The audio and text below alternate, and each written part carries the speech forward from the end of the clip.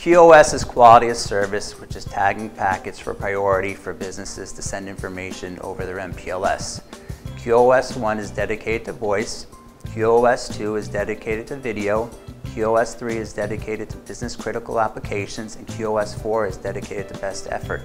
Um, businesses prioritize this traffic because they want to make sure that important information is reaching their destination. Um, for example, class of service one, uh, phone calls, the everyday phone calls with your customers are important to be able to understand the call, and not drop the packet. So businesses prioritize class of service one to make sure that the bandwidth that they need for the voice is always available um, rather than someone surfing the internet and not doing um, you know, stuff that they need to do to complete their job. So customers and businesses want to make sure that those applications, um, voice and video, get priority.